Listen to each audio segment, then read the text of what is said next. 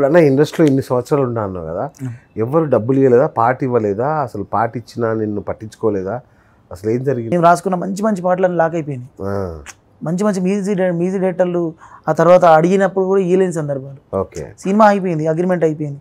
కొన్ని సందర్భాల్లో producer so చనిపోయి ఇన్ని సంవత్సరాలు ఇండస్ట్రీ నుంచి ఒక్క రూపాయి రాలా? రాలేన్న బా. సెట్ వర్క్ చేసుకున్నాం. అంతే. వీడికైతే వీడికెళ్ళైతే ఇంటికి పోయేది లేదు. ఇక్కడే ఏదో పని చేసుకొని బతుకుతాం.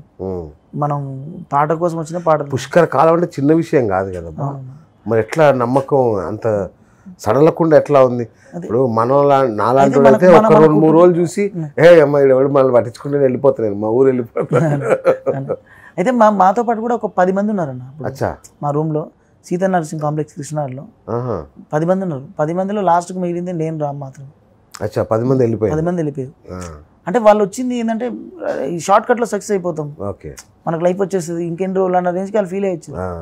లేదు ఈ ప్రయాణంలో చాలా బలంగా ఓర్చుకొని ఎదురు ఎదురెళ్తేనే గెలుస్తామనే విషయం వాళ్ళకి తెలియలేదు అంటే ఫస్ట్ ఆఫ్ ఆల్ వాళ్ళు సరదాగా వచ్చిర్రు. మనం ఆర్టిస్ట్ అయిపోదాం ఇంటిగా ఊర్లో బిల్డప్ కూడదాం అనుకొని వచ్చిర్రు. మనం బలంగా దీనికోసమే చచ్చిపోదాం దీంట్లోనే చచ్చిపోదాం అని రాలేదు రామ్ లక్ష్మణ్ మేమిద్దరం అట్లా వచ్చినాం.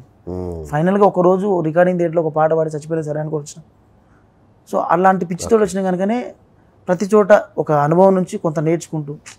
అంటే చిన్నప్పటి నుంచి ఒక అప్పటికి ఒక సినిమా రిలీజ్ అయితే ఆ ఆ సినిమాకి సంబంధించిన పాటలను రాసి పెట్టేవాళ్ళం మేము. అచ్చా. అట్లా అట్లా అట్లా రాసి పెట్టి తర్వాత ఆ సినిమా రిలీజ్ అయిన తర్వాత దానికి మా పాట కంపేర్ చేసుకుంటాం నేనే గెలిచిన అని ఫీల్ అయ్యేటోళ్ళు. ఓకే. అని అని ఫీల్ అయ్యేటోళ్ళు. ఓకే. ఎందుకంటే అక్కడ అక్కడ ఉన్న పరిస్థితులు అంటే వాళ్ళు యాక్చువల్లీ మనం వాళ్ళు తప్పనొద్దు. ఎందుకంటే వాళ్ళు ఎదుగుతున్న ప్రయాణంలో వాళ్ళకు ఒక వ్యక్తి పరిచయం అంటున్నారు ఇప్పుడు ఇప్పుడు నా సాహిత్యం నచ్చి అన్న నన్ను ఇంటర్వ్యూ చేయాలనుకుంటున్నాను సో అట్లా వాళ్ళకు జీవితంలో ఒక పరి- పరిచయం ఉంటుంది. సో ఆ విషయాలు మనకు తర్వాత అర్థమైంది. అంటే నడుస్తున్న ప్రయాణంలో అర్థమైంది. మనం ఎవరిని తప్ప అనొద్దు. మనది తప్ప యాక్చువల్లీ. మనం తెలుసుకోక ఇవన్నీ మాట్లాడుతున్నాం. సో మనకు మనం క్రియేట్ చేసుకోవాలి. ఏం చేయాలని చెప్పి అప్పుడు మనం ఒక కొత్త కాన్సెప్ట్స్ తోటి మమ్మల్ని నమ్మి ఫస్ట్ ఆఫ్ ఆల్ ఈ మన ఛానల్ ముఖంగా DRC sir sir DRC Sunil sir మా జీవితంలో డిఆర్సీ సునీల్ సార్ లేకపోతే మా లైఫ్ లేదు. ఎందుకంటే చాలా మంది సినిమా సినిమా ప్రయాణంలో చాలా మంది పెద్ద పెద్దలు పరిచయం. కానీ డిఆర్సీ సునీల్ సార్ ఫస్ట్ మమ్మల్ని నమ్మి ఒక ఒక రెండు వేలు ఇచ్చి అడ్వాన్స్ ఇచ్చి మీరు రాస్తుర్రు అని చెప్పి నమ్మి మమ్మల్ని ఎంకరేజ్ చేసిండు ఆయన మా ఇలా ఈ జీవితం ఇంత వెలగడానికి కారణం పుణ్యం ఆయనే కట్టుకున్నట్టు. సో ఆయన ఆయన ఆయనదే మా మా విజయం ఆయనతోటే మొదలైంది. ఆహా డిఆర్సీ సార్ది క్రెడిట్. అచ్చా మొదటి నుంచి పాటలన్నీ ఆయన ఇస్తూ వచ్చాడా? ఇప్పుడు ఈ ప్రయాణంలో అంటే మాకు బాగా పెద్ద పేరు తెచ్చిన నువ్వంటే పిచ్చి సార్ అచ్చా. సార్ అవకాశం ఇచ్చింది అచ్చా గాయపడిన మనసు అనేది ఫస్ట్ ఎయిటీన్లో పెద్ద హిట్. మాకు యాక్చువల్లీ దాని నుంచి ఒక ఫీలింగ్ ఏంటంటే మాకు మా పాట ఎవరైనా కాలటోన్ పెట్టుకుంటే వినాలన్న డ్రీమ్ ఉండే మాకు. గాయపడిన మనసుకు జియో వాళ్ళే కాలటోన్ కొన్నారు.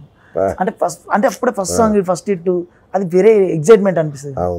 మనం తర్వాత చూసిన తర్వాత ఎంత పెద్ద సినిమా పుట్టిన బిడ్డలాగా అనిపిస్తుంది ఒక పాట ఇది అయితే జియో కంపెనీలో ఈ కాలటోన్ కొన్నారు అని చెప్తా ఉంటే అవి ఆ ఫీలింగ్ అంతా ఒక మన సక్సెస్ఫుల్ లైఫ్ అంతా డిఆర్సీ సార్తో మొదలైంది.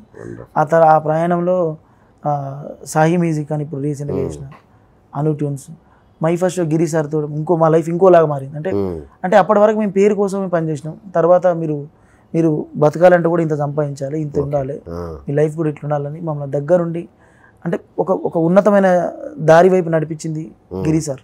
ఓకే. ఏ గిరి గారు? ఎన్ఎస్ గిరి అని మై ఫస్ట్ వచ్చాను మై ఆల్బమ్స్.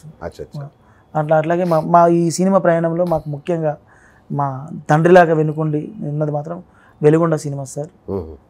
శరత్ అన్న అని వీళ్ళు మేము ముఖ్యంగా కళ్యాణ్ మదీన్ సార్. వీళ్ళిద్దరూ అంటే మేము ఇలా మా మోడ్లు అవ్వడానికి మా విజయానికి ఏదో మూలన మాకు సపోర్ట్ చేస్తూ వచ్చిన వ్యక్తులు. సో థ్యాంక్స్ కార్డ్స్ అంటే ఇలాంటి ఇలాంటి ఇంటర్వ్యూలో వాళ్ళ గురించి మాట్లాడారు డెఫినెట్ ఎందుకంటే చాలా వాల్యుబుల్ ఇంటర్వ్యూ కృతజ్ఞత అనేది చెప్పుకోవడం ద్వారానే మన గొప్పతనం అయినా ఎదుటి వాళ్ళకైనా అది వండర్ఫుల్ ఎందుకంటే ఇది చాలా వాల్యుబుల్ ఇంటర్వ్యూ సో ఇందులో ఎవరిని మిస్ కాకుండా చెప్పుకోవాలి వండర్ఫుల్గా అందరికీ కృతజ్ఞతలు చెప్పేసి చెప్పాలి. ఎందుకంటే ఇంత అద్భుతమైన సరస్వతి సరస్వతి పుత్రుడివి నువ్వు ఇప్పుడు. తెలంగాణ భాషని ఇంత గొప్పగా ఇంత ఘనంగా ఇంత అద్భుతంగా వెలుగులోకి తెచ్చావు. చాలా మేమందరం నిజంగా చాలా సంతోషపడుతున్నాం ఈరోజు సో మన కేసీఆర్ సార్ గారు వీళ్ళు ఎవరైనా ఫోన్ చేశారా? అక్కడ నుంచి ఏం లేదు. ఓకే. ఎందుకంటే నేను కొంచెం ఉద్యమాల పనిచేసిన అచ్చా అచ్చా రైట్ రైట్ ఆ లైన్ లేదు నీకు లేదంటే ఈ పాటి నువ్వు ప్రగతి భవన్లో కూర్చునేవాడివి. మన అన్న ఉన్నాడు రసమే అన్న. రసమైన రసమైన ఫోన్ చేసి నన్ను ఆఫీస్కి పిలుచుకొని అచ్చా.